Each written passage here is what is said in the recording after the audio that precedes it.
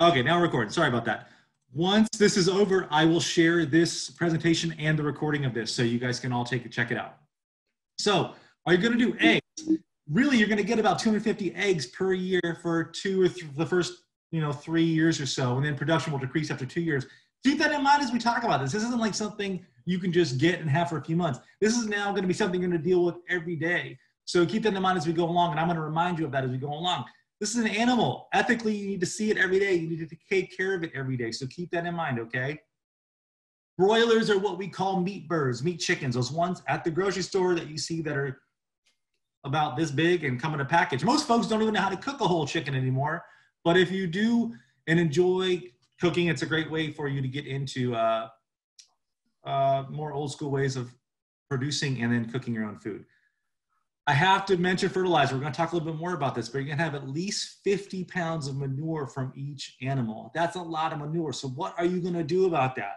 You have to compost it and use it as fertilizer. You can't just put chicken manure in your garden. One, it can contain salmonella and or E. coli, make you sick. Two, it, it will burn your plants. It has so much nitrogen in it. It's a great source of compost. It's a great source of nutrients and it's a great thing to keep on your property. It's free. You're taking grain and you're turning it into compost. That's awesome.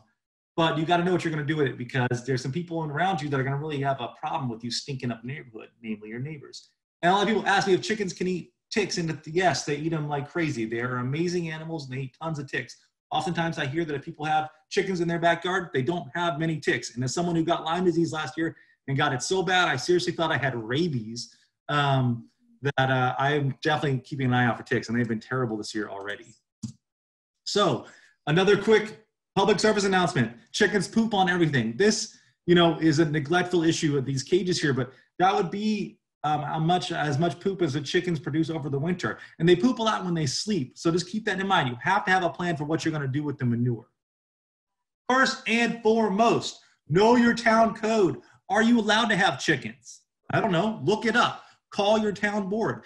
Typically, what we recommend at Cornell and most people who have had chickens, if you're in a residential area and you're not zoned for ag, six hens, no roosters, period. Roosters don't just crow in the morning, they crow all day long and even sometimes at night, which is crazy. Um, they should be, you know, 50 feet from the property line typically. And if you can smell something, that means somebody else can typically. You have a problem. You can use your nose to really lead yourself and let you know if you're doing a good job with both keeping enough wood chips and carbon in your poop and your compost, and if you're doing a good job managing those animals overall. Keep it clean. Talk to your neighbors beforehand. And I just want to mention some things in this picture. This is not me. It's a great looking coop. But if you can see, there are lines here shooting across the screen. That is actually a fishing line or rope they put up to protect you from aerial predators, which are probably your biggest predator you're going to deal with. Uh, it works really well to stop a hawk or an owl from jumping down in there and taking a bite out of your animals. Again, know your neighbors. Check with the town board. If there aren't regulations currently, I'm happy to write you a letter and uh, give my two cents on why you should be allowed to be more sustainable, why you should be allowed to go back to animal agriculture and understand your food system. I'm a big proponent of backyard chickens as long as you're done responsibly. So tell your neighbors before you get the birds. Why not? Offer them free eggs, okay? Again, if you could smell it, you got a problem already, and the neighbors are gonna have a problem too. Um, and also, leach it from your manure. If you do have a compost pile, this is just good standard practice for everybody. But if you do have that stuff washing into your neighbor's yard, you're gonna need to think about positioning that, that coop somewhere else or uh, maybe putting up some type of amendment to stop that water from flowing into their area, which contains manure and can be gross. We don't want to talk about this much, but I have to mention it. Plan for end of life, as it is now an ethical duty of yours to understand how to dispatch injured or dying animal, period. If you have a dog attack a chicken or a rooster and it's on the way out, you need to know how to end its life. In the worksheet I'm going to send you all when this is over, I have um, a notice on how to do that. Um, it's not easy. No one likes to do it. And even if you're slaughtering, it's a very sacred and special thing overall. But you need to know how to do it, period. And don't have roosters. This is my rooster. I think his name was Rudy. I've had so many roosters, he was an absolute terror. We'll talk more about terroristic roosters. We are in amazing times here. And so COVID is a huge issue also, but biosecurity is a huge issue for all livestock and animals. So, you know, I'm also going to give you a lot of links about this, but these are the six biosecurity tips that are just basic stuff. Keep your distance, keep away from other farms, keep away from other chickens if possible, Keep it clean. We've talked about that. Sanitary doesn't mean um, completely sterile. It just means, you know, neat and clean. Sterility, as we know, most of you probably imagine, is not always good for animals. We've run into some issues immunity wise because we are so sterile and some of the food we eat is so sterile. I often end my newsletters saying, eat more dirt, and I mean it. Um, there's nothing like a little bit of uh, stimulation to get that immune system working again. But back to what I was talking about. Don't haul disease home. If you're going to get equipment from somebody else, you're going to pick up some equipment and bring it right to your place. Wash it down. You know, three fourths cup per gallon of um, three fourths cup of bleach or 10 parts per hundred of bleach in water is a perfectly good way to sanitize anything you bring home. Don't borrow, borrow disease from your neighbors. That means if you go to their chicken flock and let's say, even if they haven't been sick, you really should wash your shoes off to be best practice. It happens. Um, you will eventually get some sick chicken. maybe know why, and I can guarantee you probably brought it back with you from somewhere else. Ethically, again, seeing your birds every day, seeing your animals every day, and know when they're sick. You're going to be out there. You're going to be giving them treats. You're going to be hanging out with them. You're not going to be kissing them, cuddling them, but you will know when something's wrong right away. Same with all animals. You know when something comes up, they're not acting right, and then you can always report sick, whether it's to me or whether it's to someone else um, that goes higher up. Cornell has special, just a special um, way you can contact them, and they will speak to you about really bad issues that you have on your farm. They're poultry experts, they're poultry health experts, and I have it on a slide, and I'll send it to you all when we finish this up. Oh, here it is right here. Um, excuse me. The Animal Health Diagnostic Center at Cornell. You know they have an excellent vet center, so they can really help you with all your needs. This will be in your slides and on your worksheet, so you can contact them if you have an issue. If you just want to call and talk to, give me a ring. I'm happy to talk to you about what's going on in your place all the time. I love livestock and I love helping folks do stuff with livestock. So keep me on um, on your email speed dial. all right, still with this corona stuff. We got to get through this stuff first. Salmonella happens all the time. It's really it can be deadly, and so can E. coli. Chickens have been sharing coronavirus for millennia, along with pigs and us, and bats and pangolins apparently. Um, this COVID-19 has not been found in poultry. That doesn't mean it isn't gonna um, uh, occur and mutate. The biggest thing you can do, like everybody else saying, is wash your hands. Wash your hands. Every time you go touch your chickens, wash your hands. Chicken poop is nasty anyway. Chances are you're gonna wanna wash your hands because um, they're pretty gross. Don't be kissing on them. That's a great vector for you to suck in some salmonella or some other nasty little thing through your mouth. Um, know your birds if something is off. Call me if something's off we might have to escalate it, but the point is that uh, you're going to know when something's wrong and then I can help you address it. Okay. And then ultimately, don't visit other chicken sites in your clothes that you wear with your backyard chickens. It sounds tough, but once you have a problem, you're going to really uh, regret that you didn't do that. And also, I will say this we'll talk a little more about this. Quarantine your animals for at least two weeks if you buy new ones and bring them in, especially as adults. Okay. All right. Finally, we can get started here now. We talked about biosecurity. We've talked about your responsibility as a poultry owner. And now we're going to talk about housing. You're going to need a coop. And I'm going to talk about the difference between a coop and a brooder in a minute here. You're going to need about two feet per bird and about eight inches of roosting perch per bird. Chickens need to roost at night. That's how they're comfortable sleeping. There's a million different coop you can build. I'm huge into building them out of recycling materials. I've built multiple coops out of um, pallets. They work great. I have an equipment list in your worksheet I'm sending you, but really just basically you need a coop, you need feeders, you need a way to water them. You're gonna need some nesting boxes to keep their eggs clean when they lay them. And one nesting box is good for four birds. Oh, by the way, if you all are taking notes, don't worry too much about it because I'm gonna send you this presentation. So just sit back and take all this in if you can, because this is more of a global thing than just you know telling you what you need to do. Like everything with livestock, um, it's there's a lot of ethereal and a lot of like uh, strategy as opposed to just erudite and didactic learning that goes into actually raising an animal. So what I'm saying is you're going to get a feel for being a livestock farmer and or rancher. So those are the basic requirements of your coop. Like I said, there's about a billion different plans you can get online. So start digging and find something that you like. You can always buy one too at the store. Go for it. Um, they're expensive, but I always find it's more fun to make your own stuff anyway. Jason, can I interrupt you for one second? Yep. we just do. had a uh, question. Someone has, uh, they wanted the definition of what a run is. Like what's a Oh, chicken one run? is, you know, do you want to tell them, Ashley? Oh, yeah. So I guess uh, for me, it would just be like a fenced in area that, that the birds are in. Sounds good to me. It protects Yeah. them. Completely. They're enclosed and uh, no one can get out.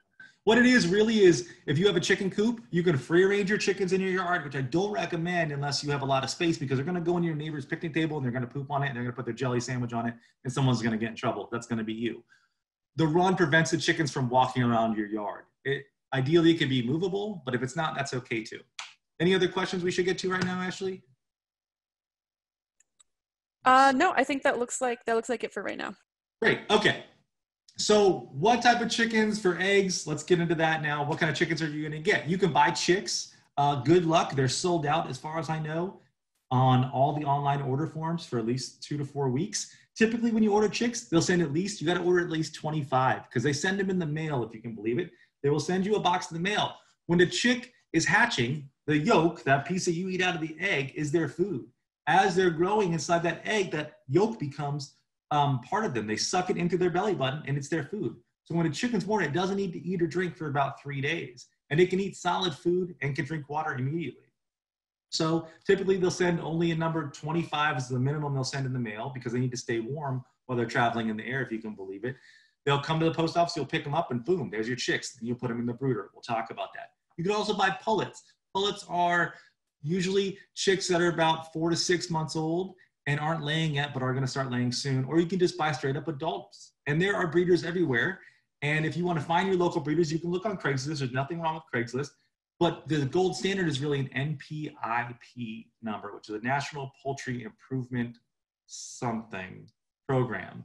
And that means they're registered and they're following the rules for good biosecurity practices and are uh, uh, you know a reputable seller. I have known people that have bought uh, pullets or adults, 40 or 50 of them, they've all died within a week. Um, so just keep that in mind. So obviously it's best if you can raise chicks, but if you can get chickens that are coming from a similar environment of yours, feel free to buy those. Just remember again, with any animal, don't switch their feed right away. See if you can grab some of the feed that they're feeding there already and start mixing it with your feed if you're going to change it up. Okay. If you want to buy organic, buy organic. It's typically double the price of conventional feed. A lot of their organic feed, bigger than organic. I don't care if you're organic or buy organic or not. Buy local if you can. You find if there's a feed mill in your area, buy from them. Um, if it is organic and they're getting their organic food or their grain from around, buy that. So just keep that in mind. Okay, back to uh, chicken. Yeah. I had one more question pop up, Jason. Um, there's an interest in deep litter compost for your coop and as a heat source for winter. Um, are there any blueprints available for how to build and advice? Yes, if you email me, I can email you an entire book on how to deep litter compost with your animals. So what they're asking is actually composting while the chickens are in the coop. I highly recommend it. I've done it many times myself. The biggest issue with composting is your carbon source. Most people are going to use wood chips and they can get expensive. So uh, just email me, please, and I can give you a lot of resources because that's a little advanced and I didn't include that in this worksheet. So, hey, Jason, can I jump in for two seconds? Mm-hmm. That's Rachel Moody, everybody. Uh, I'm with uh, Orange County Cooperative Extension, and I do livestock there. Um, so, just the NPIP is important because there are two diseases, Newcastle and Marek's, that will wipe out a whole flock. Um, that's the reason why you want to look for that. Um, and then the other thing is when you do buy from other people, I've gotten this call multiple times from a lot of uh, small flock owners they want um, when you buy pullets from other places and their birds were healthy your birds were healthy mm-hmm. two weeks you put them together and then your birds end up dying off. Um, mm-hmm. just keep in mind that uh, you know everybody's got their own germs and everybody's immune immune system is used to their own germs. So sometimes those things just happen. Okay. Thanks rachel. I, Rachel teaches the uh, beginning chickens course for Cornell Small Farms, and I have a link to their fall course, which will be happening this fall, which is a six weeks, really comprehensive course on beginning chickens and goes into more marketing and business stuff that we're going to get into today. So thank you, Rachel. Um, and you guys, please feel free to jump in at any point, please. Um, obviously, if we're going to be raising chickens up here, we want a cold hardy breed. There's a lot of traditional breeds in the area, whether they be Rhode Island Reds or Barred Rocks or New Hampshires. So um, it's your choice. There is a livestock breed conservancy that tells you the uh, numbers and the types of chickens that are less common now, and those can be really fun to grow. But I will give you this warning now: don't buy expensive animals to start off with. These are the animals you're going to make your little mistakes with. Whether it's like Rachel was talking about, and some die because you did some, you got some mess ups with biosecurity, whether your coop isn't tight enough and you lose a bunch to a predator, don't buy these $500 starter animals. Get something that um, is cheaper and that is more hardy overall. Another thing with that too is most of those animals that are really expensive are propped up. By that I mean that they're fed the best food, they're coddled, they're kept indoors, and if you don't have exactly that system when you bring them home, they're going to just fall apart. So, you want to get some chickens. Here's some good layer choices for New York State. Uh, Americana, Araucana, there's different names for different breeds. They're the ones that lay different colored eggs, and they're really cool. That's one on there. They're these fluffy cheek. Delaware, Dominiques, New Hampshire's, Plymouth Rock, Rhode Island Reds, Wyandottes, all different kinds, all great breeds, all fun, up to you, or get a variety pack and just surprise yourself. Oh, one thing I didn't say yet is if you're buying chicks, they're gonna come two different ways, either sexed or straight run. Straight runs, that means they pick up 10 chicks, they throw them in a box, they don't know how many boys and how many are girls. If you're gonna buy cockerels or hens, you can choose which ones you want. Hens are always more expensive because they're the ones that are gonna lay eggs, whereas the cockerels are gonna be cheaper because they don't lay eggs. Those are gonna be your roosters. So that's Um, just, I'm gonna pipe in a second too. Um, if you do live in a village where you do have to have only six um, chickens and you can't have any roosters, do yourself a favor. It's not 100%, but it's usually 90% accurate. yeah, And buy buy sexed um, birds. Don't don't go the cheap way and get the straight run because you'll end up with a bunch of roosters and you have to figure out how to get rid of them. Yeah, that's a great point, thank you. Um, also, you're not gonna have eggs for roughly six months if you buy chicks. So if you buy them now, you're not gonna have eggs till like September, so keep that in mind. Um, yeah. As far as meat birds, those of y'all that want to grow meat birds, I love growing meat birds. I'm doing my own this year if I can find some. Um, the Cornish cross is that big one on the end that looks like you know just a barrel with two legs coming out of it. That grows that big in, in industrial settings in seven weeks. That animal's seven weeks old. It's that big. It's unbelievable. And just so y'all know, a Cornish cross is just like a four-week-old one. It's not or a Cornish hen, excuse me, is not a special bird. It's just a four-week-old bird. Freedom Rangers in the middle there. That's a faster growing hybrid between a, a heritage and a fast grower, 9, 11 to 12 weeks. So keep in mind, these birds are much better foragers. The Cornish cross, that big white one, has just been bred to eat, poop, and grow. It doesn't really have a lot of instincts left. It's not genetic manipulation. They've done this by selective breeding. It's pretty amazing that that chicken has gained, you know, six pounds on what we could grow in the 50s just through selective breeding. The Freedom Ranger is a much better forager, but if the best foragers, the best predator uh, averse animals are going to be your heritage breeds, your dual purpose breeds, those ones that are going to be used for meat and eggs. So typically what'll happen in my house is we'll get some laying hens every year. We'll have them for two years. At the end of that two years, we'll, we'll slaughter them and have them as stew birds in our freezer. Um, and those tend to have the most flavor in them without a doubt. Once you raise your own chickens and eat it, not only is the process rewarding, but the, I feel that the taste and the actual experience of eating that bird is much more rewarding and tastier. So you want to do meat birds? That's what you got to look for. Where to get them? These are sick animals. These don't look good. One's got pox, obviously. I think the one on the top has Newcastle disease. There's a million um, hatcheries out there online. Most of them are centered in the Amish country in Ohio and Pennsylvania. Uh, it's really fun to get the chicken catalogs every spring, just like your seed catalogs. I highly recommend it to look at them and dream and see what you want to get. So hatcheries and breeders, like Rachel said, are NPIP certified. You know they're disease free. You can decide if you want to have them vaccinated. Up to you. There's other places too. We all know Tractor Supply, your local feed store has chicks. Although I've heard those are sold out too at this point for this year. Um, those tend to be pretty good. Clubs also, you tend to be NPIP certified. And um, if you want to contact your local 4-H people, I know if you type in online too, NPIP has a list of chicken um, breeders in New York State if you all are in New York. And you can call those people online or look on Craigslist. I don't recommend swap meets or back of the truck stuff. You don't know what they are typically, and uh, they can bring home a lot of diseases for you. So your best bet is go online and look at those hatcheries. If not, contact your local suppliers and see what they got available. I did see a Craigslist ad yesterday. They were like 10 different kinds, and that's really cool. That's fun. Real quick, just the difference here between a brooder and a coop. A brooder is our first is our first thing we're gonna do. That's a picture one. I think he's got too many lights in there, that person, but it's okay. It takes the place of the mama hen. When they're born, the chickens aren't feathered; they're little fluff balls, and they can't keep regulate their temperature, and they can they're not waterproof. So this little thing and that heat lamp acts like the mama bird. You need chick size supplies. The chicks can't typically eat or drink out of the big ones, okay? Out of the adult size feeders and waters. They're gonna need at least one heat lamp. I'll talk more about heat lamps in the next slide. The coop is for adult birds. So And that's really just to shelter them from the rain, protect them from predators, to give them a place to sleep because chickens at night are like zombies. They're just there. You can go in there, they won't fly away. You can pick them up there. I think the word is torpid. But anyway, you can really do whatever you want to them. So they're very, really vulnerable to predators, obviously, when they're roosting at night. And you don't need lamps for adult chickens. If an animal is allowed to acclimate to the cold temperatures in New England and New York like it should, it will have no problem getting through the winter generally if it has a draft-free coop. Chickens are where they have fat on them. They're not a human. It's, it's a mistake to uh, anthropomorphize an animal in its ability to regulate its own temperature. And often a light will cause more trouble than it's worth because it messes with their hormones and their pituitary gland and their laying and all the other stuff that chickens need to do and do it with nature's light. So just keep in mind that's the difference between a brooder and a coop, everybody.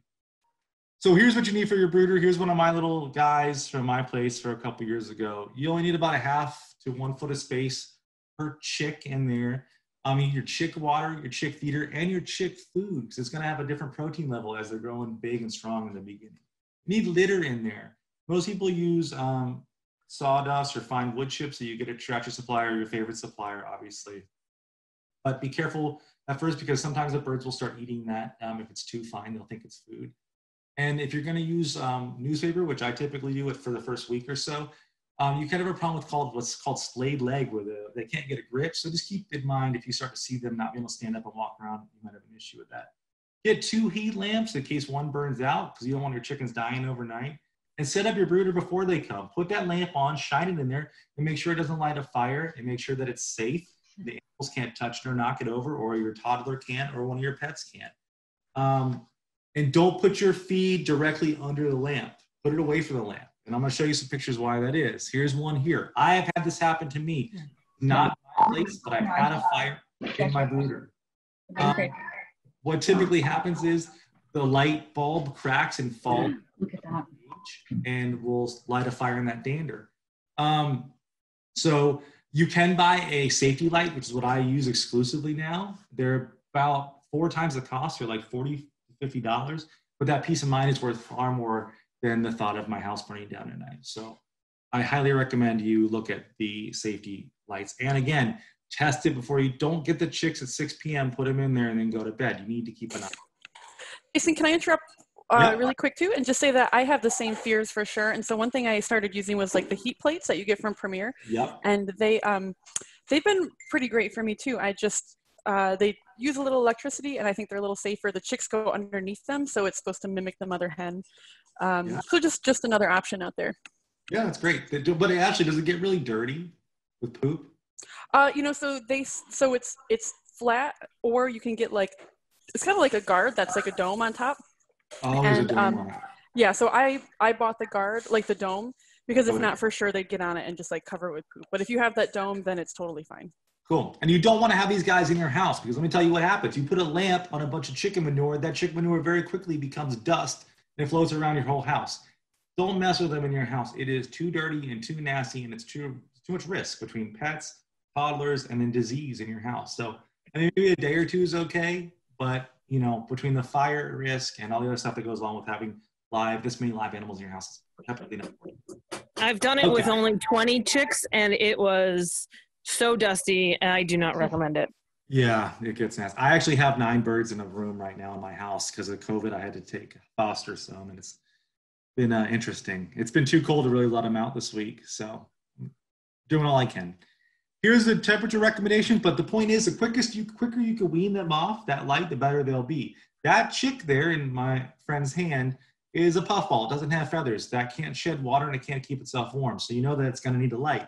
But as soon as those feathers start growing in, and they will start growing in within days, then you can start weeding them off that light by putting it further and further away, leaving it off during the day, and only have it on at night. I know that Rachel and Michelle use this picture too, and I like it because it shows you your brooder lamp. You know, I'm talking about the stuff on the left here. You can tell if your temperature is too high because the birds are all on the outside. If it's correct, they're all going to be sleeping, playing, pooping, whatever they're doing. If it's too low, they're going to be huddled right underneath the light. And if there's a draft, there's going to be, they're all going to be in one corner. These birds are just afraid of the person inside their coop. So that's why they're all hiding. This is a good example of a typical, in this picture, a typical heat lamp that's, that is dangerous. Like I said before, if that the chickens don't really have a lot of guard, guard there. If they jump up, they can hit it. And that's what happens, honestly, is typically that bulb will shatter, fall into those wood chips, then you have a fire. So keep that in mind. So again, this is all for your brooder. We're not quite into coop yet. Um, also, Jason, just one of the reasons why you don't want them all huddled together is um, they're not very smart creatures and they're also babies. And so when they're all huddling together, they tend to trample each other and you will get uh, injured or even um, dead ticks. Yeah. Yeah, they can suffocate. So that's a great point. That's why you actually, if you're going to go big with this, talk to me. If anybody's going to start doing a few hundred chickens, let's talk. But if you are going to go big, you need to put baffles in your brooders because they will pile up at times. So I can talk to you about that. The coop. So now we're out of the brooder. Let's say we're at like six, eight weeks. It's warm. It's May. It's June. It's summer. Ready to come out into our coop. The coop really needs to have proper ventilation because heat is really detrimental to an animal too. And also, um, moisture is an animal's worst enemy. So if you have cold and wet, you're in trouble. But if you have just wet and just cold, you're just fine. So keep that in mind. It's got to be predator proof. And um, there's things that you won't even think of, like rats that will eat your chickens, um, depending on the time of year, because there's all that wood chip. They want to live in there. So as predator proof as you can make it um, is your best bet. And can withstand the weather. Remember, we get some serious storms here. In fact, we had thunder and lightning in my house last night. If you have heavy snow or if you have high winds, it can easily rip the roof or flip over one of your uh, your coops. So keep that in mind. And enough space for all the chickens to lay their eggs and rest. Like I said, one nesting box is fine for four chickens each, but they need roosting bars. They need that eight, that one foot of space to sleep at night. Now, a lot of people will stagger them so some are higher than the others or they'll go flat out. The highest ones will be taken up by the most dominant chickens. By the way, that's where the word pecking order comes from.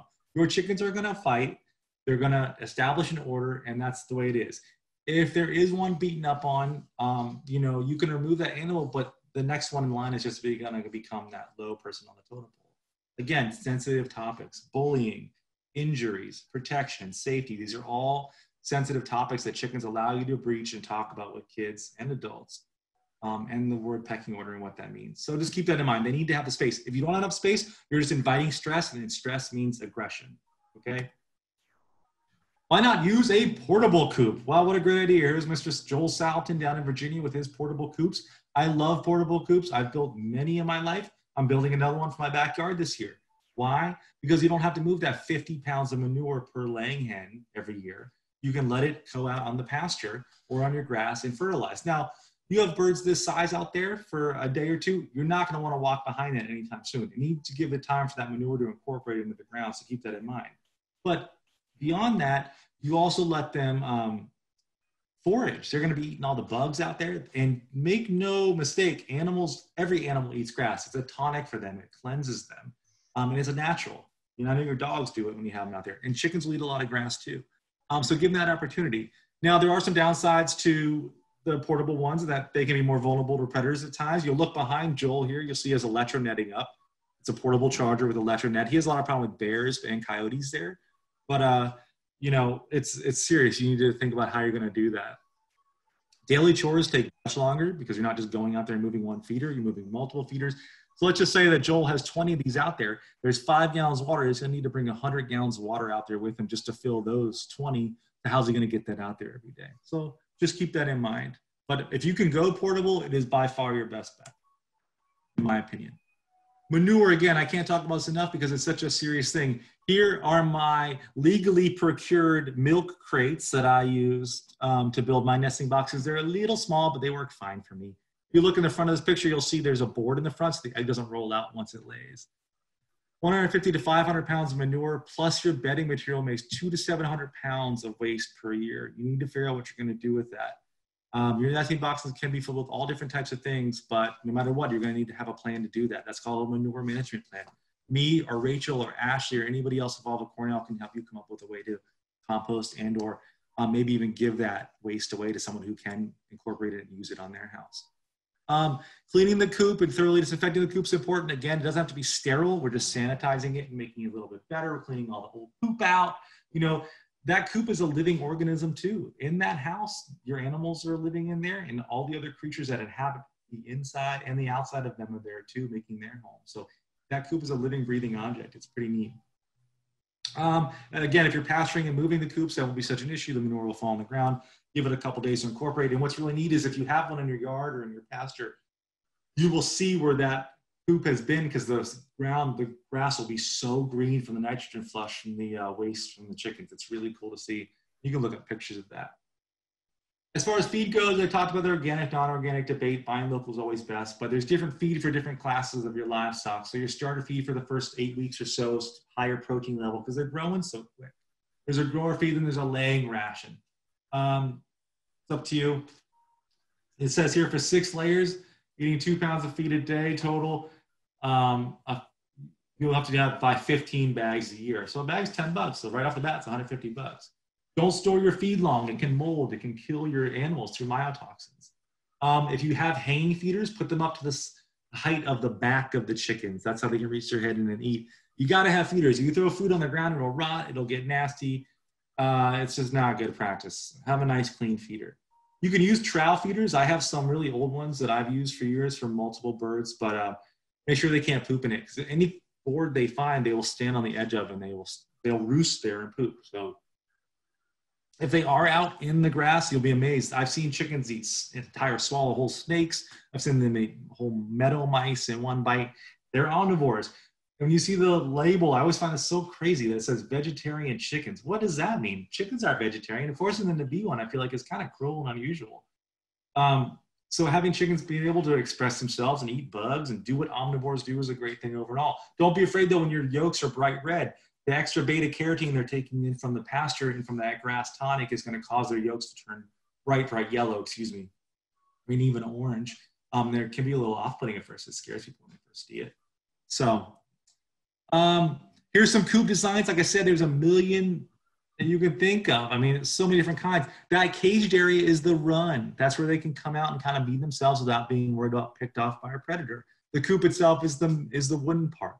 Now, some of these have things on the sides where the nesting boxes are to remove eggs. They have ways you can open it up to get um, some airflow through there. This person just made a, used a half a geodesic buckyball to make theirs. That's cool.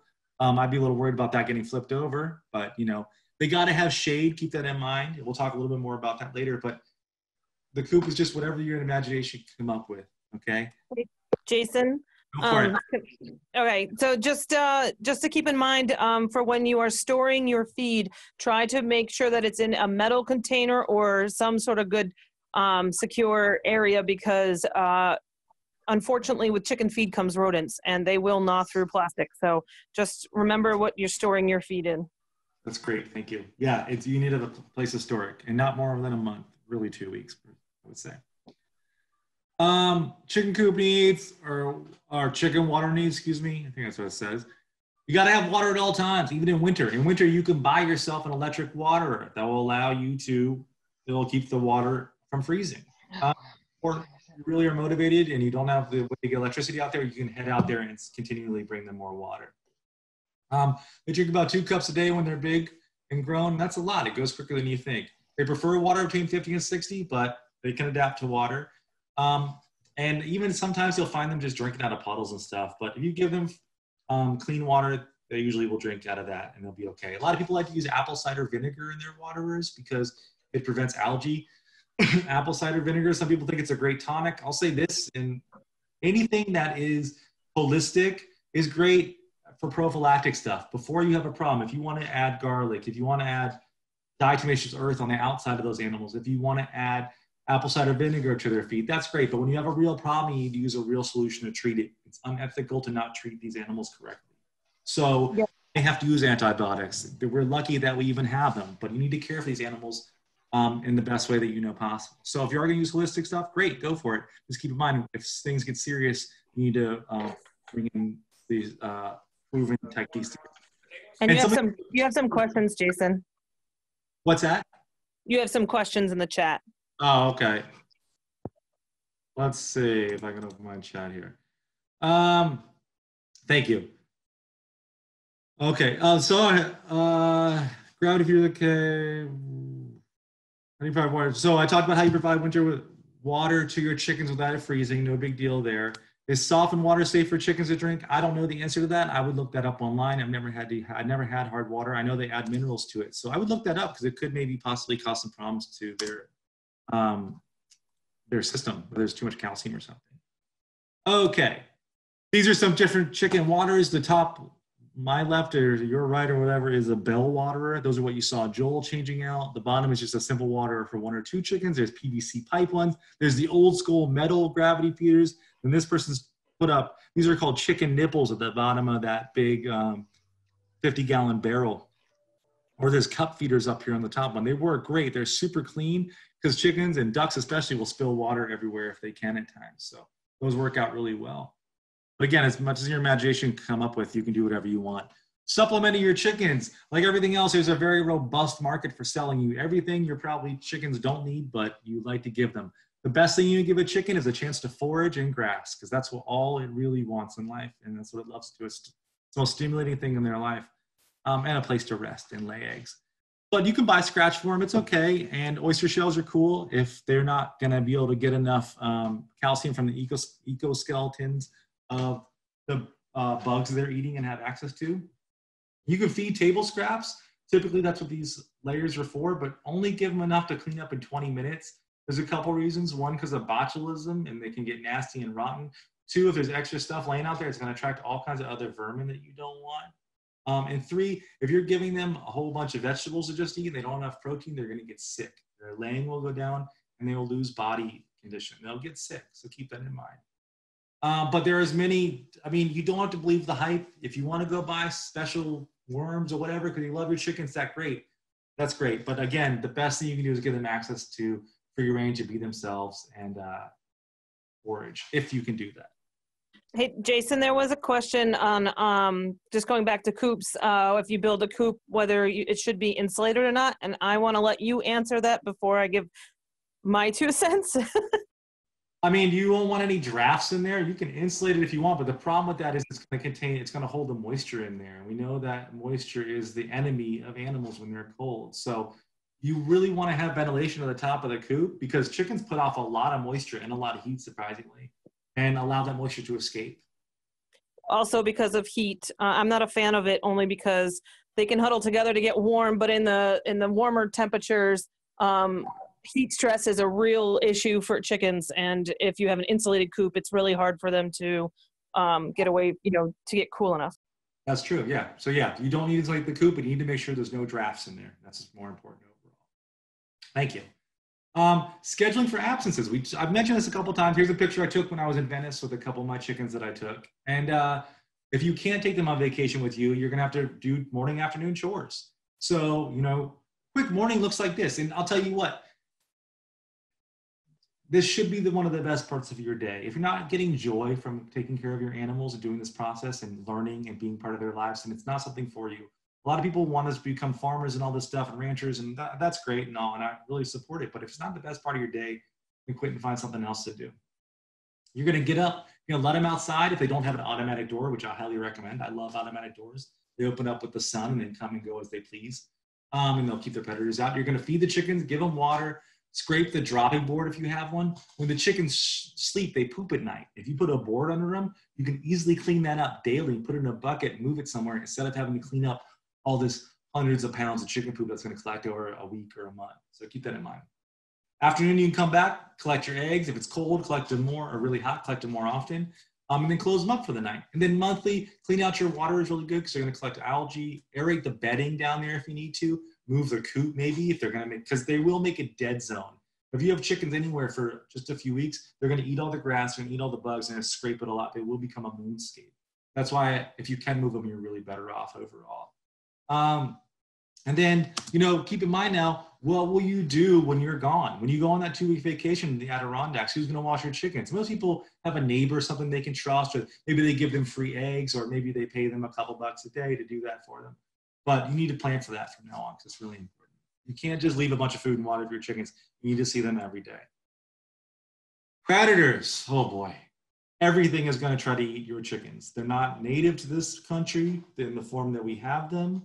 Um, they're not, they don't retain the instinctive drive to hide and fight from predators. So they're really a, uh, a target for everything out there ground, air, everything. Neighborhood dogs are one of the biggest ones. Uh, so keep that in mind. If there's a nasty dog, or even a sorry, not even a nasty dog, it's a prey drive. If there's any dogs around you, You got to introduce them slowly and easily and get them used to the animals and train them to not kill your pets. So here's some predators. There's a million. I like the picture of the fox actually eating a chicken in the photograph. It's probably from a livestock camera, but in the daytime, typically it's going to be dogs, foxes, and hawks. In the night, raccoons, which are really nasty. Sometimes possums, owls, coyotes, and fishers. I don't see many coyote problems typically. Um, the biggest ones that I lose animals to are hawks and owls in the early morning and late evening. And weasels. And eagles. Anything in the weasel family. Oh, weasels, yeah. I haven't had a lot of problems with that, but I do hear it reported at times. Um, the best defense is having a good coop. It's as simple as that. They make chicken wire for that reason. I talked earlier about rats and mice getting in. They typically will take your chicks and bury them in the litter to be eaten or consumed at a later time. If you have a predator issue, look online. There's a million different ways to stop them. Um, but protection, full protection is the best way. You are going to lose animals to predators, I guarantee it. Poultry to predators. Because again, everything is out to get them. Um, actually, Rachel, do you want to talk about some of the health issues here? Because you're an expert on this stuff and vaccinations. Can, can we use the term expert loosely here? yes, sorry. I've just done this presentation a lot. yeah. Um, I guess. I mean, we've already, you've already talked about the uh, some of the well, just the biosecurity and stuff. But um, put me on the spot here. Vaccinating for Marek's and Newcastle. Um, for those of you who are interested in organic, this is this has more to do with if you plan on selling eggs and, and whatnot. But I've had this question: um, organic chicks and chickens are considered organic at day two, just so that they can actually get vaccinated for Marek's and Newcastle, um, because it is so important that they uh, have that vaccine. Um, he already talked about quarantining all new birds for at least two weeks. Uh, it's not a full-on guarantee, but it does definitely help.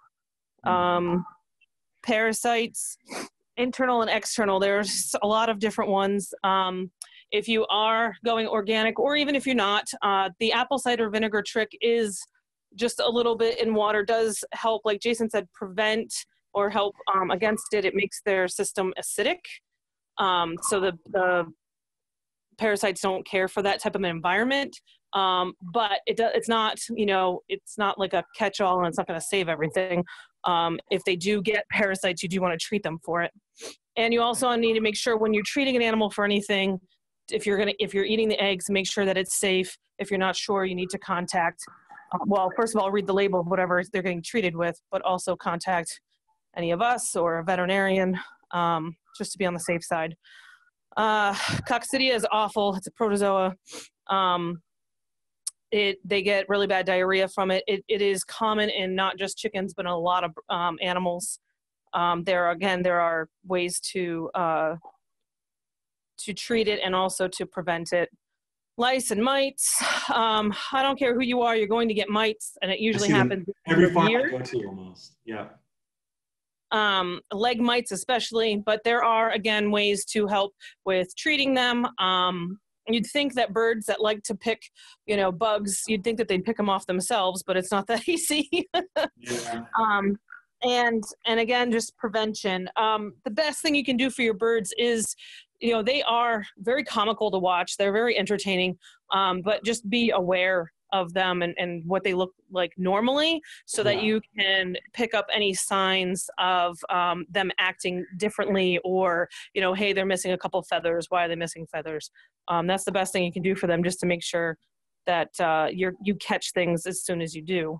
Um, and keeping things clean and dry is for sure um, a good way to prevent a lot of bacteria and any kind of things that um you know that could be an issue for them. Um, cool upper respiratory issues are just another thing to keep. I, I, we can't list everything in this whole entire time, but just you know, do your homework. And upper respiratory issues tend to be um, something that chickens get a lot of as well.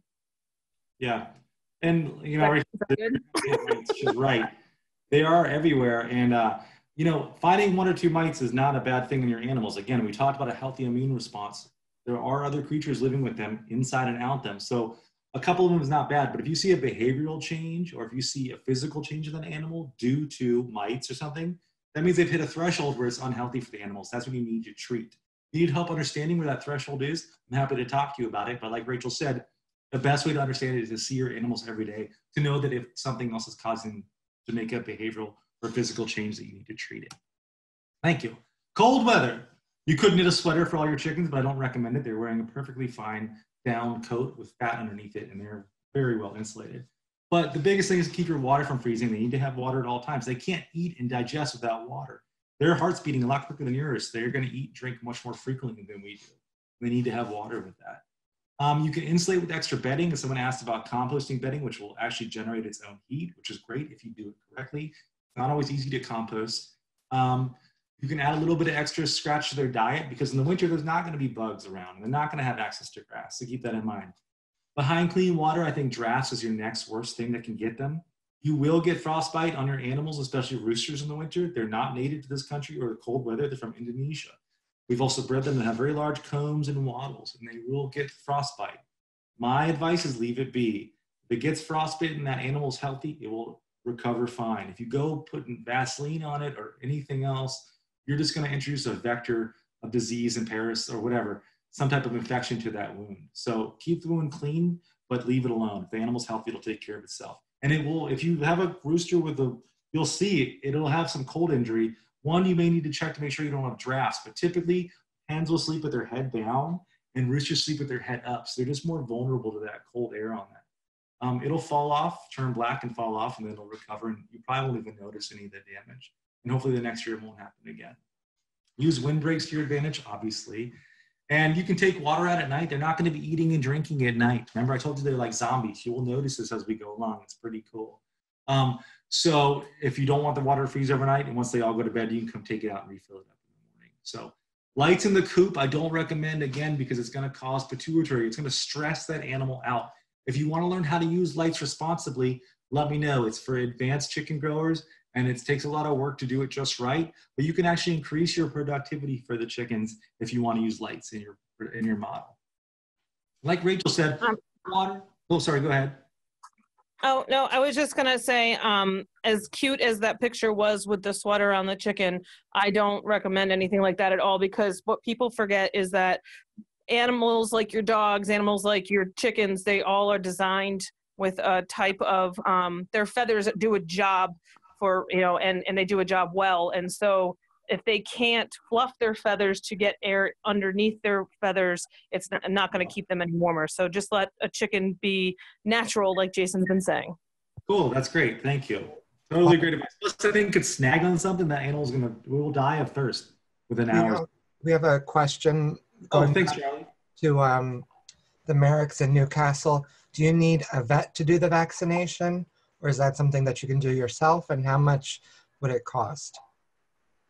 You can do it yourself, but 99% of people don't. The hatchery will do it for you. And if they are from an NPIP approved um, flock, then they will let you know if they've been vaccinated. And usually it costs between 10 and 25 cents per bird to have them vaccinated before they come to you. shipping it. But the, the problem too is that the dosages come in for like a thousand birds.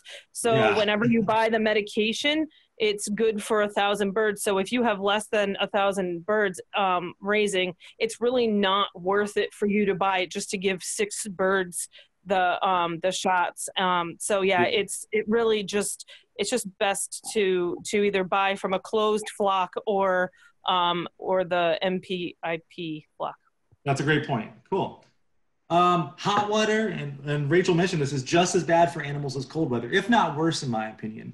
Hot water can really decimate animals. Chickens are pretty good. These are actually a picture of chickens panting, and this is some chickens I had. Um, but you got to have cool water and you got to have shade. That's part of the coop's job is to keep them cool. And like we were talking earlier, the insulation can retain heat and moisture. We don't want that either. If it's really hot, if it's like over 85 degrees, especially if I'm raising broilers, meat birds, I won't feed them during the hottest part of the day. If you digest food inside your system, you create heat from the inside, and that just makes you hotter and hotter. So we'll withhold feed during the hottest parts of the day. Um, that's just during the, the really hot times. Um, again, airflow is your friend in the summertime. And uh, if you have birds out in the grass, make sure the grass is low because sometimes I see folks with chicken tractors and the grass is high and it doesn't allow the wind to get to them. They can open up their feathers and let air get to them all over that skin that, and they will, uh, they will shed heat like a human does and they get that air on them and it's possible. Egg handling, if you're going to be having eggs, keep it safe, man. I mean, keep this in mind. If you don't, if you, so the chickens will poop in their nesting box if you let them. The way to stop them from doing that is to close them up at night. Don't let them sleep in the nesting boxes. If you see them in the box at night, come in and physically pick them up and put them on their roosts. Um, and you can also make contraptions that you can put down over the nesting boxes so they can't even get in there. So after you collect the eggs for the day and it's late at night, when you go close them up for the night, you can shut off the boxes. They're not sleeping in there. Keep your nesting materials clean. If you have poop and nasty stuff in there, your eggs are going to have nastiness on them. Typically, and this is not for selling, you guys are just using these eggs for yourself. Only wash the eggs that you have to. If you have a good system beforehand, you're not going to have dirty eggs. If they're laying in the box, if they have clean bedding material in there and they're not sleeping in it, you're going to have generally clean eggs. But remember, that egg comes out of the chicken's cloaca. That means common hole. Feces, eggs, urine is part of their feces, all come out of there. So there's a great chance that you could have some um, foreign material or unwanted material, i.e., poop, on your eggs. So just clean them dry. Don't put water on them because if you get them wet, it'll close up the pores and will make them more likely to get nasty and go bad. So just scrape off the manure you have there. And obviously cook everything to spec. It's a great way to keep yourself safe from salmonella and E. coli if you're cooking your food correctly. Um, if you're in a storm in the US, we store eggs in the fridge. In Europe, they're not even allowed to store eggs in refrigeration, from what I understand. But that's because they handle them differently. We wash all of our eggs right out of them in industrial settings, but here you should avoid doing that, okay? And I have all kinds of stuff for you to read about keeping yourself safe in your newsletter or your, the page I'll send you. Children and chickens. This is actually a picture of my uncle Walter when he was a little kid at our, at our farm, our family farm. Um, but again, they're great for all ages. They help teach responsibility, introduce sensitive topics, life systems. You go, you're going to see it all: life, death, poop, everything. Um, money and marketing is another good point too. And chickens are relatively safe as long as you're washing your hands after you interact with them, that you're not kissing them, but they can be dangerous. And I think I got a picture here. Um, the picture in the middle is a, um, is a chicken spurs. That's a rooster spurs. That's how they do damage. They're big. You will at some point have an aggressive rooster, and there's ways you can deal with it. That rooster thinks you're another rooster. It thinks you're a rival. Don't act like one. Don't stare at it. Don't make eye contact. Don't make yourself puff up and get big, and don't chase it. Okay? And also, don't run away and scream because that's what roosters do. They yell as loud as they can. Don't act like a rooster. What you got to do is back away, don't run, start bringing it snacks when it's acting appropriately. Now, don't give it snacks if it attacks you. But if you're out there and he's, he's being good and acting right, throw them a little snack, give them something, give him a treat because other roosters don't give other roosters treats and they'll stop associating you and think of you as another bird. Also, an old timer gave me this trick, or I don't know if Polly would like it if I called her an old timer, but a farmer with more experience than I have told me to go in at night and pick them up if you can if they're roosting. They're docile then. I said they're like zombies, and it will kind of acclimate them to your handling and being around them. And they'll stop seeing you as a rooster. Don't forget to wash your hands. And this poor little kid got nailed by a rooster spur. They could take an eye out, no problemo. You can remove the spurs too and clip them if you feel that's an advanced issue. Let me know if you'd like to talk more about that. Um, yeah, my sister has a scar on her cheek. She has an extra dimple because of a, a rooster my grandmother had. And um, you are way too lenient. My grandmother made him stew the next day. So um, yeah. also don't be afraid to do that because you don't want too. aggression around kids. Yeah, definitely not. And it is genetic, I hear. The um, some of the old timers tell me you can breed that out of your chickens. So, and what's cool is you can breed your own chickens at home. We actually have incubators you can borrow from Extension at our in Kingston. So if you want to borrow an incubator, come sign it out. We're happy to help you raise your own chicks at home.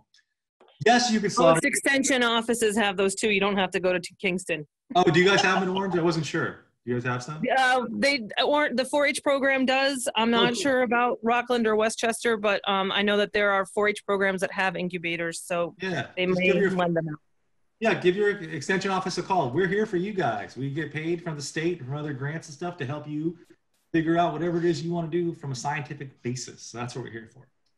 Um, yes, you can slaughter your birds. Yes, I think that you should. Uh, it's your decision. Ultimately, I've talked at length in the past and other. Sorry, you guys weren't there, but I talk a lot about the genuine experience and um, of slaughtering your own animals and raising them from scratch. Not only more sustainable um, every sense of the word, but you're better educated and you know that animal had a good life before it, it was um, killed for your food.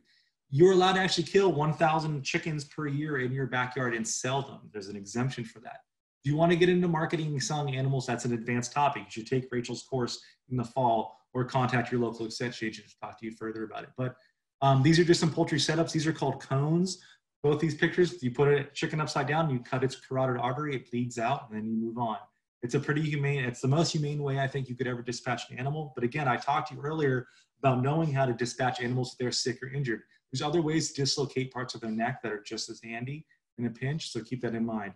All of this stuff on this trailer in, in the background of this picture is what you need to slaughter your own chickens. I've done, three of us did 800 in two days. I don't recommend that. It was absolutely grueling, but it is possible for you to do quite a few birds um, with just a small crew, but it is absolutely um, devastatingly tiring. So keep that in mind. So again, if you want to know about the laws, which you have to follow, or best practices, hit me up and I can give you more links to that, or your local extension agent. A quick question from the chat. Thanks, Charlie. Uh, are there any breeds that are good for both eggs and meat? Those are what we call dual purpose breeds. And they typically aren't going to be the best meat birds. These are birds that are going to take double the amount of time to grow out into your meat bird. So instead of eight weeks, they're going to take 16 weeks to become meat. So yes, if you just type in dual purpose chicken, you'll find that. That's everybody. That's what everybody grew up until the 50s. Everybody had dual purpose birds. You raised them. And most and, and most of them are are larger breeds, like your Yes. um, Rhode Island Reds or your Barred Rocks, because they all um, they produce a lot of eggs, but they also are a larger carcass to get meat off of. I recommend that as your uh, dispatching of roosters program if you want to go that that route. But again, like Jason said, they they don't have a lot of breast meat. Um, the Cornish crosses are designed for large breast meat, which most Americans are used to. They're Yeah. going to have more thigh meat and dark meat. Um, so it's just you know, if you want to go that route, just know that it's going your your food is going to look different. Yeah, the carcass will look a lot different, uh, without a doubt. So a lot of time, beginner growers, I have this problem. They get a heritage breed and they have roosters, and these roosters have been running and fighting and playing for the last six months, or whatever, 20 weeks, and they're scrawny. When you when you actually cut up that bird and slaughter it, it's gonna be tiny and not look like the bird, like Rachel was saying at the grocery store that you're typically buying with very large breast meat. So keep that in mind. My recommendation, typically, if that happens, make stew out of those birds. Sell it as broth or keep it in home for yourself because most people aren't going to be interested in purchasing that size bird. What are you going to do with all your eggs? I don't know, but you should be storing them correctly and washing the poop off them a little bit with something rough. Um, I have a circular that's included in your packet that you can all read about the laws about selling eggs. I'm not a lawyer, I'm not going to get into it now, but there are regulations for backyard growers and producers alike. Um, but you can always give some out to your neighbors. You know, you can feed it to other animals in your house. You can hard boil them and feed them to dogs or other animals. What you shouldn't be doing is feeding them back to the chickens. If you crack eggs in front of birds and they see you do it, they will learn to break open eggs and eat them themselves. Also, if you have a really severe calcium deficiency in your birds, if you don't have access to pasture and they can't eat bugs, and if they don't have any calcium, um, they will actually eat the eggshells to get that calcium. So just keep that in mind. But if you are going to sell eggs, check out the circular from New York State because there are very special laws. And quite honestly, you probably should have some liability insurance because you now are in the realm of putting something in someone's body that can make them sick. And if if was if let's say they had some spinach and some chicken that day and your chicken got them sick, they're probably going to blame the chicken and it probably was actually the spinach. And then you're going to have a bad time and probably get sued. So don't mess around the legalities of this. Um, get at me if you, again, if you're going to do marketing, contact your local extension agent or me, and we can talk about the realities of what you need to do to feed people. Ashley. Hey, hey. So Okay, I'm going to talk. gonna- Ashley, talk about ducks and geese for a minute while we're here because people are interested in that. So I changed your slides a little bit. So just go ahead and talk about ducks for a minute if you would, and I can advance the slides when you're ready. Okay, great. So um, I really love raising ducks. I don't know. I um, they're very similar to chickens in a lot of ways. They're going to need the the same kind of uh, heat requirements. They're going to need clean, dry bedding. Um,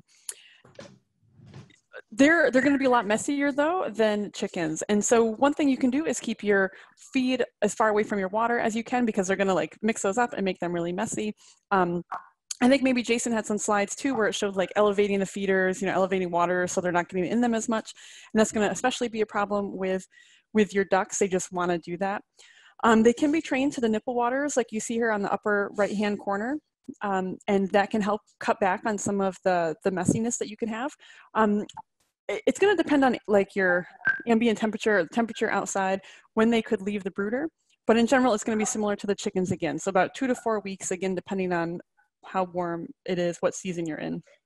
Um, So do they need a do they need a tub of water? The birds? They do not. They do. Um, you know, so I've heard different things. Like uh, they they are okay with the nipple waters, but I know they do like to like wash their bill and stuff in in the water. So I do provide something for them to like get their bill in, but um, but they they don't like need need it. You know, I think they do enjoy it though. Yeah. Cool. Yeah. Um, Um, there are some meat breed or some land ducks, as I call them, Muscovies down there, right? yeah. Yep. Yep. And they're different too because they can perch in trees and everything, where these other birds are not really going to do that. Um, Okay. and our ducks, just like the They're chickens, not a true duck, right, Ashley? Yeah, uh, where they're South American, right, Rachel? You can, you, Yep, but they're they're not considered a true duck. okay. Yeah, please, please expand because I, Oh, I'm not a Muscovy expert. Oh no, I've just read up on them. That's all. um, they're not. They are, for lack of better terms, not really having their own category. We put them in the duck category, but they um, they roost up in trees, like Ashley said, um, and they don't actually quack. They they have like more of a, a hissing noise, and um, they actually aren't big fans of water. So um, you know, they always say if it if it quacks uh, and walks and quacks like a duck, then it's a duck, but it doesn't. We just still call it a duck. Yeah, no, awesome. And they have kind of that lumpy, like weird looking face. Um, so that's one way to you can Yeah. differentiate them. Uh, and they're really popular breed for meat as well. Um, so just like Jason talking about the chickens, how we have breeds that are dual purpose, egg layers, birds that are for meat, the same is true for our ducks. And so this is a list of breeds that you may have an interest in. And um, as you can see here too, some of these breeds are laying even more eggs than what a laying hen would lay.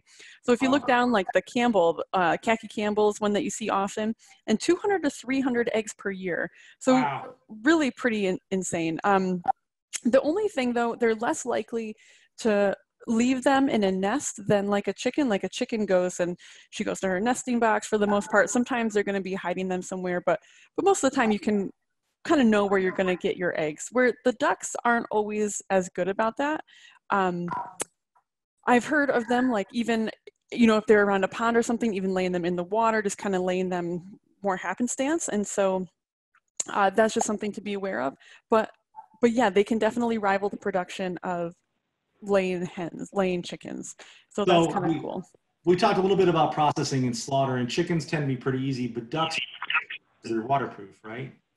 Yeah, and so that's important. So um, when you're getting your ducks, uh, so I raised some Pekins last year, and when I talked with my butcher, he's like, bring them here as close to 49 days as you possibly can, because Yeah. after that, they're gonna continue like their molting cycle, and then it becomes difficult to um, get them plucked really well. And so uh, it's close to 49 days for the Peking, uh, or yes, for the Peking. And um, again, working with your butcher, that can be a problem. Like, like Jason mentioned, uh, you know, processing. Not everyone's willing to do ducks because of the added time, and they're going to be more expensive to process in most cases than a chicken would be. Like like to, to- typically, I think a chicken costs about three dollars and fifty cents to have someone slaughter it. You bring it to them, but most ducks are between twelve and fifteen dollars each because they're that much harder. Yes, yeah. And my butcher did a fantastic job, but you still see like a couple little feathers, more more so Yeah. than the chicken, you know, and it just he wanted to make me aware that in advance, like that this can just happen because they're so much harder to pluck. Yeah, yeah, cool. Um, Let me Let's go see. forward here. so they really also like definitely rival the the chicken in terms of growth, and uh, so 49 days, that's pretty close to what you would be getting with that Cornish cross chicken, and that's for the Peking. That's like the equivalent of the Cornish cross. Okay. Um, so yeah, so ducks, they, like I said, they can be very messy. Uh, I raised mine on pasture, and they did just like it's just wet liquid poop. Where the the chicken, it's a little more like solid. The duck, it was just like liquid poop. But you know, again, great for adding nutrients to your pasture, but just something to plan for. Um, yeah, the bottom left again is that Muscovy duck Uh-huh. and uh, bottom right and the on the right side pretty much are Pekings and just different ways of raising. So the top is like kind of a commercial, you know, large scale setting. again, the deep bedded packs and um, the bottom is, you know, your home flock. So they have a little thing here to swim in, you know, hang out, get some shelter. The cool thing about ducks too, I think, is that uh, they're really easy to move. So I recently toured a large farm like the one in the top right-hand corner. They said when they're ready to process them, they just herd them onto the trailer, just like walk them on. They're, they're easy to move around. They're pretty easy to work with. Um, where I know when I'm grabbing my broilers to take to the butcher, like I usually wait and do it at night, like Jason said, because they're they're calm at that point and I can grab them. Um, but they, it is a little maybe more challenging than the ducks. The ducks were so simple to to to move from place to place. Cool. Uh, we I think we got through all this. Yeah. So yeah, a ton of eggs. Um, oh, slightly larger. Their eggs are slightly slightly larger, yeah. but they're probably going to consume a little more feed. Um, but they'll also forage more. So you know, if you're allowing them to forage, that can make up for that increase in feed. Yeah, cool. Geese. We'll talk about these real quick too. Oh, and and ducks um, eggs. Ashley, I don't, I'm sorry if you already said this, but ducks eggs are really good for um, baking, and actually they're pretty creamy and tasty in general. Hmm. Yeah. Yes. Yeah. And they're they're really great. Like I fried some up, and the shells are like waxy and hard. Like they're just like a cool. Yeah, they're really great. Definitely great. And I think I was just at the store and I forget how much, but they were they were at least double what chicken eggs cost. So again, finding that market might not be, you know, as straightforward as chicken eggs, but you know, it's it's something that's not as easy to find either. So you could fill a niche potentially. Um, so geese, uh, I think, are super cool. Uh, so there's broiler type geese that can reach nine pounds in about eight to nine weeks, or a heavy type goose, which can reach 12 to 14 pounds in about that many weeks, in about 12 to 14 weeks. So they can consume larger quantities of grass in their diet, up to 50%, but they're not necessarily able to um, digest it better. They just consume a ton, and then it, you know, they just keep consuming it, and that can make a larger portion of their diet as well. Um, again, strong flocking instinct, easy to move around. Um, and I, I kind of honestly forget if I talk about aggression later, but the problem is like I have some geese at home and um, yeah, perfect. this there. So if I had close by neighbors, I would not have geese. Uh, I just got a little roommate. I shouldn't say little. I got a, a young young man roommate for the summer. He's a college student, really great. The first night he moved in, uh, I just I don't I was like I'm so sorry Pete. Like all night I just heard the geese honking like middle of the night. Like I don't I don't know what they're doing. So they're loud. Um they chase him. They don't bother me. I raise them. They're they're totally fine. But they can be very aggressive. They chase my dogs. I have um German Shepherd dogs so they're like between 60 and 80 pounds they chase the dogs they like ran one of my puppies like like they're they're dominant animals um that said there also that can be to your benefit if you want a guard animal. So since I've had my geese there, I've had a big reduction in predator problems with the chickens. Wow. So that that is one good thing. But um but yeah, it's definitely problematic if you have a lot of people coming to the house, that kind of thing, because they at the very least they're gonna be loud. I had a guy coming to buy meat one time and wanted to see everything and they just followed us. I mean, probably for like an hour. They just followed and like and honked. So cool yeah. a slide for you. Not sure. Okay. Thank you, Ashley. Uh, yeah, yeah. I want to get at real quick. One was, uh, do you need to refrigerate your eggs in the U.S.? Yes, they recommend that you do here.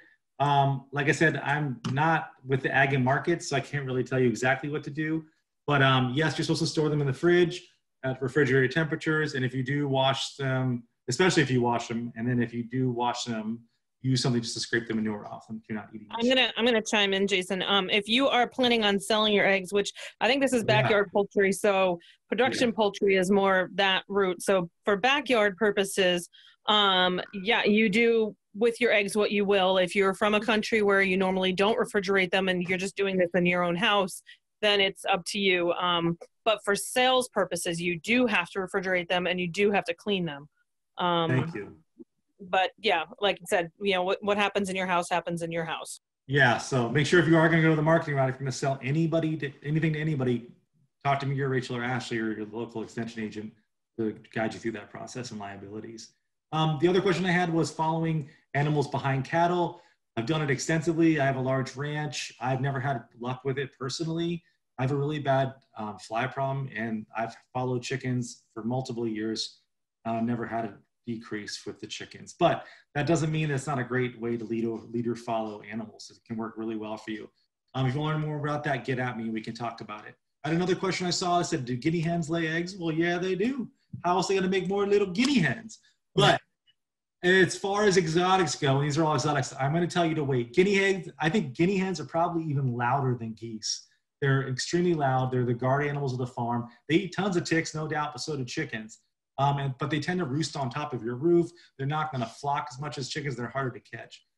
Uh, you can raise pheasants, but they will kill each other unless they're wearing blinders. You have really low numbers. The one on the bottom is a naked neck chicken. Those are actually pretty common for meat. Peacocks are extremely expensive, and this all black bird is the Ayam Cemani, I think it's called. Yeah, it's a chicken. It is actually. I'm surprised you have it under exotics, but it is. A, you're right, but it's exotic because they were costing between two and three thousand a breeding pair. They're down to five or six hundred bucks. But again, don't make don't buy these animals and make mistakes with them. And like with everything that's a new livestock, there tends to be kind of a pyramid where the people who are in it first selling these type of chickens can get two thousand dollars for a breeding pair, maybe. But then six months down the road, when they sold five hundred breeding pairs, you're not going to be getting that kind of money. So just remember, if it sounds too good to be true, it probably is. If someone's selling a really exotic animal for a lot of money and telling you you can do the same thing, I would take a step back and really think about it uh, and see if you can sell one first before you end up buying them. That's a good point. I realize that those that is a chicken. and peacocks are very loud, very mm-hmm. loud. So yeah, just wait, hold off, and don't spend all that money before you even find out if you can stand the smell of chicken poop on your hands or if you enjoy having these animals in your backyard. If you don't, it's okay. Just move on to something else in a responsible way. That's it for this. So real quick, I'm going to go through and send you a resource page and some links where you can get all kinds of information from CCE. Keep in touch with us. You have my email, and I'm not going to end it yet. Don't worry. Check out our web pages. You have my email. Find a mentor if you want, and then give back to CCE. We are here for you. I want to say Charlie for giving me this slide. There's a couple links on here, and I will send you links to Ulster, Rockland, to Albany and to Orange County, to all the people that are involved in here. We do all kinds of livestock program. The reason this happened is because people want to become more sustainable in these in these times, and I don't blame them. Um, raising your own animals for food and for other products is a great way to understand agriculture, understand living systems, and understand how you are still alive and how you can give back. So tell your elected officials how much you love them. Tell other people about our courses. Typically, this course costs money, but we're doing more now. We're going to be doing a pet course and livestock course on COVID specifically, but we do, I do the pig course. Um, Ashley, do you do course? Ashley does all kinds of stuff. I know that Rachel does the chicken course specifically at Cornell Small Farms. So we have your back. We got you covered. Keep in touch with us. Get on our mailing list so we can tell you more about what we're doing and tell other people about it because it's important. If you would like a certificate, I will send you this if you like, or maybe I'll put it in everyone's packet. You can write your own name in it, saying that you're now an official backyard chicken grower. This is proof if anyone asks. Also, if you would like someone to talk to your local council or zoning board about the uh, advantages to having chickens and learning about these life systems in your own backyard, I'm happy to do that for you too. Yeah, um, any of us can do that too. I've I've done it for villages in my county, and also I did a chicken talk to the town of Chappaqua in Westchester. But um, and real quick, I did put my email. This is Rachel. I put my email also in the chat. Um, and Jason, there was a question. I'm just going to address it real quick. There was a question about having chickens and ducks together, um, and you're also getting a whole bunch of um, questions, including turkeys. Um, if you are going to put poultry together and raise them together, just keep in mind again the the whole uh, biosecurity and um, disease issue because uh, chickens can be carriers for things like uh, they can be a carrier for a disease that will kill turkeys if you have them together. Um, and also there, and, and, vice versa, there are other uh, poultry that will carry things that might kill chickens. So it can be done. There are people who swear by it. There are people that have, you know, never had any issues. But um, I just have to put that warning out there that, you know, you just need to be careful what you're doing and make sure that you are, um, you know, you're, you're monitoring for any type of disease. There's a couple more questions real quick. Do chickens, geese, and ducks on pasture do well together? They do okay, but again, biosecurity says you need to be really careful about sharing any diseases. An in-ground pool. If we let the chickens on our property, should we only let them area outside of the pool? Yes, they will go into your pool. They're also pooping it, so they really should not be around your pool unless you enjoy swimming with manure. And they will probably drink that water and it's not very good for them either. Are there quiet breeds? Rachel and I differ in this. I think there's more difference within a breed than between breeds. I don't think there are really breeds that are more uppity or more angry. It really depends on how you treat them. I've come from a psychology background. Before this, I was a behaviorist for the Air Force for many years. And as a behaviorist, we believe that you shape a lot of the behaviors that your animals react. So you're causing them to act that way. Not always, there are genetic issues, but typically you can change an animal's behavior by using reinforcement, um, and it works really well. So, are there? But however, there are some that are predetermined to being a-holes and also sometimes their wiring upstairs can, may also not be right just like with people it happens with animals. So that is my only disclaimer on that. Yeah so if you have it, like she's saying if you have a nasty rooster get rid of it like your grandma used to do. Um so trying to run through these real quick everybody. Um so don't believe all the hype about selling stuff. If, if they're selling you a quiet chicken i wouldn't believe it. Someone asked if geese and ducks are guinea fowl they say no roosters i wouldn't mess with it the reason they have that roosters thing is because it's a noise ordinance issue so if you have neighbors that are going to be upset about that, then it's going to be an issue. Maybe you could go talk to your neighbors and ask them about it. Or maybe you could even do better and buy yourself a, a sound meter. And if it goes over a certain level that the town allows, then you will get rid of those animals. Turkeys, I love turkeys. I'm sorry, I did forget about them. turkeys are great. They're also one of the best things you can market as far as making money goes in poultry because my mother-in-law bought a $150 turkey last year that raised on the farm where I slaughtered. Um, and that's pretty typical for some of the amounts you can get for turkeys. Again, like Rachel said, you got to be careful with blackhead and other stuff if you raise them together. But turkeys are fun, um, but they are about three times the cost of a baby chicken. A baby turkey. And they're dumb. Well, I don't think any animal's really dumb, but you know, I think I'm the dumbest animal on the farm. I can guarantee you that. Um, but meaning they don't like to live, Jason. That's all. If if you put an animal in a situation where it can get hurt, you know, it's it may find a way to do it. That's for sure. And and uh, turkeys can definitely find a lot of ways to do it. We've bred a lot of the instincts out of these animals too. So these production animals are not going to have the instincts. And what Rachel's talking about is maybe get out of the rain or maybe move out of the way of something coming at them because it's been bred out of them because those instincts aren't really uh, in line with making meat typically. So all right, what else do we get here? How much on average are chicks? That's a great question. Three dollars is probably the average. You can get cheaper ones than that, and you can buy you know twenty dollar chicks that are special. But about three bucks is the number. Minimum uh, of this you can buy is six at a time. All animals need companionships. They need friends. You cannot have animals alone. Period. With chicks, they need the warmth that each other's body provides them. So that's why you have to buy at least six in New York. That's not really the reason, but you can tell them that. Okay. And the reason that they ship so many in the air is because they need to stay warm while they're traveling through the air in that little box. If you buy 25, you can pay more money for it, but you have to buy a warming pad that goes um, inside with the animals that they ship them. So you can buy them fewer than 25, but it's going to cost you extra money. So typically three bucks is how much they cost. A local carpenter, nope, I can't give you any suggestions on any uh, carpenters or anybody who does any work like that. But I'm sure if you looked online, you could find them. We can't pick favorites. That's why we can't provide those names for anybody. Um, thoughts on wood chips versus sand? Sand is expensive. Um, you have to have special material to clean the sand if you're going to clean the manure out of it. So, and wood chips are much easier to find typically. But if you have the patience and the ability to clean the sand, it can be a great thing to use. I like the wood chips because you can compost it though, and you make another material from a uh, a product that is uh, that you already used up that you made nasty, if that makes sense. Mottled chicken is the color of it and the way it's bred. As far as I know, does anybody know any different? It's a color thing. Say that again. Sorry. What is a mottled chicken? That's just the color, right? Mottled, yes. Yeah, it's just a way you call it. They call animals different things, and models is just a different type of color uh, scheme on its body.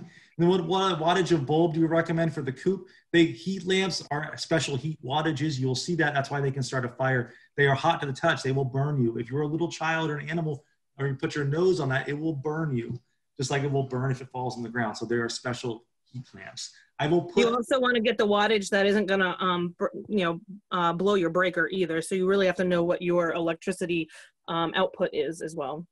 Yeah, there you go. So, um, also, Jason, can I just chime in real quick about color because I'm not. This might sound really dumb, but um, for some people, they may not actually know this. But the only difference between the uh, egg colors, like I know some people ask about, you know, what's better, brown eggs or white eggs. The only difference is the breed of the chicken. So um, that's what Jason touched on a little bit about like colors of eggs, what you might prefer. Um, the important part is what you feed them because that's the nutrition in, inside the egg. Otherwise, the coloring is is literally just what breed of chicken you have. And you can tell a chicken's egg color by the color of its earlobe. Look it up and look for yourself. So if it lays a white egg, it has a certain color earlobe. If it lays a red egg, it has a certain color earlobe. Now you know.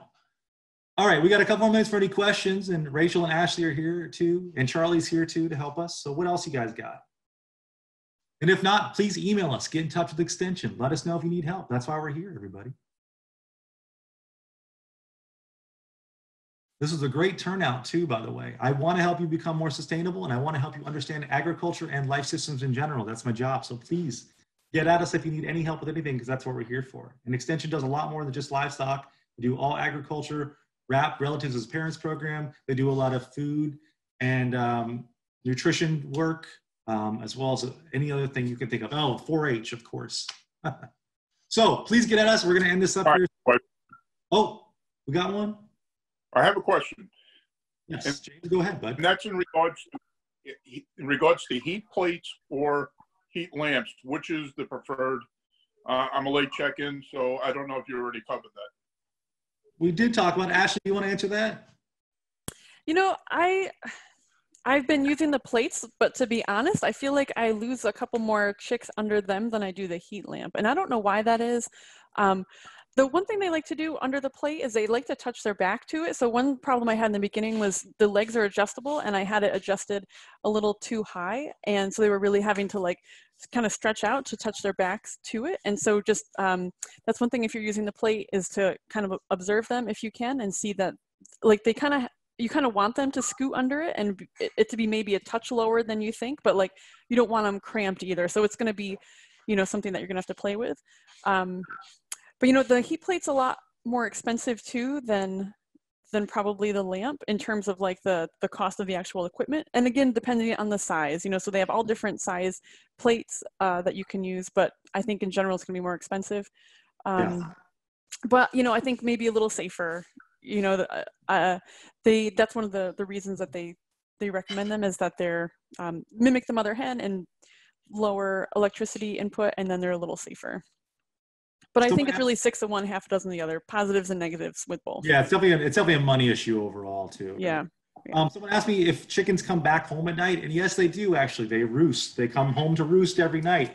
Um, when you get new chickens, though, I didn't mention this, and I don't know if anybody else has anything on this topic, but I usually lock my chickens if the temperature allows me to. If it's super hot, I can't do it. But if I get new animals and they weren't raised there, I will lock them in the coop for like two days with food and water, so they know that's their home. If you have movable coops, often what will happen is if you move a coop, if they sit in there for two weeks and you move they will go back and nest on the ground where the coop was before. It's all magnetic, it's up here. So the best thing you can do is if you see that happening, bring them to the new spot or give them time in the new spot overnight or over a day to get to know that area and how to get back to it. Like I said, they're using magnets to get back to their spot. Uh, yeah, go ahead. composting the waste, can you put that in a regular compost pile or is it got to be treated a different way for composting it? Nope, just make sure you're gonna need a lot more carbon though. So keep that in mind. Because, you know, that's really hot, as they say. So you're gonna need a lot more carbon to soak up that nitrogen to do it just right. But yeah, absolutely can. Thank you. Um, when should you be worried about pasty butt? Pasty butt is when you have young chicks, and the temperature is off, or their food is off, or they're stressed, and the manure sticks to their cute little tiny little feathers on the back end of them, and it literally will block them up from going to the bathroom. I would be concerned about it anytime I see pasty butt. If you see pasty butt on your animals, you need to treat them. You need to get some wet your hand or get some oil and slowly work that manure off their back end so they can actually use their back end as it's supposed to be. So Yeah, I've actually had I've had that experience with a chick before, and we did um we used a, a warm wet paper towel actually but you do have to be careful with the paper towel um, and uh, yeah like jason's saying treat it as soon as you can um, and i'm happy to report that that little chick is now a three year old rooster who has outlived the rest of his uh, his uh, litter mate litter mates So we have a question. How realistic is it to be a weekend chicken owner? I would say that's not realistic. Again, I, you know, part of being a farmer and being in touch with animals and ag is being part of it every day. And I don't know, I don't really know how you could raise chickens just by doing it on the weekend because ethically, you need to see those animals every day. So if you're not taking care of them, seeing them, you're gonna have to pay somebody to. I, I would just uh, find a friend that has them and visit them on the weekend. There you go. That's a great idea. Go or go to your local farm that sells meat and meat birds and check it out. That's a great idea. If my town doesn't allow it, how can I fight it? Well, let's start with becoming educated, which is what we're doing now, and then talk to me. We can kind of plan a route of what we want to do about that. Not every town is going to allow it, so but we can definitely do our best to educate those who don't know about the benefits and realities of owning chickens.